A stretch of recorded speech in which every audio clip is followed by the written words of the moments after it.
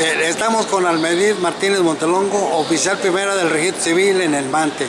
Eh, Alma, nos comentan por ahí que viene próximamente una campaña de matrimonios colectivos.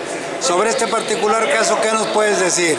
Este, pues ahorita estamos en coordinación con el DIF estatal y el DIF municipal por parte de la señora María del Pilar González de Torre y, este, y la señora Verónica Pérez Delgadillo, que se extiende la campaña de matrimonios colectivos por todo el mes de abril, marzo y todo el mes de abril.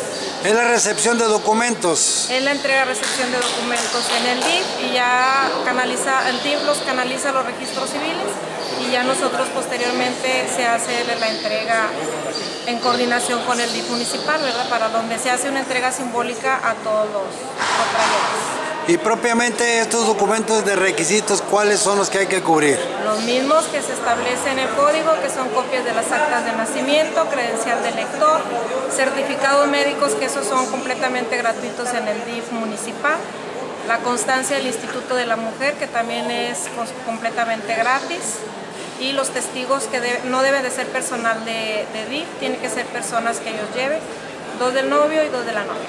Bien, ¿y cuándo sería este matrimonio colectivo y en dónde? Eso hay que estar en coordinación con el municipal, con la señora Verónica Telles, ya ella nos dirá qué día ir a hacer este, la ceremonia masiva. ¿Esa fecha no está establecida aún? No, todavía. Ni el lugar tampoco. Bien, ¿Alguna cosa que agreguemos para esto? Nada, la orden, estamos en el nuevo edificio gubernamental, aquí de Ciudad Mante. Este, las personas que quieran contraer matrimonio gratis, pues nada más es de acudir también al, al registro civil y ya nosotros los, los canalizamos al DIF. Bien, pues agradecemos la atención, Alma. Gracias.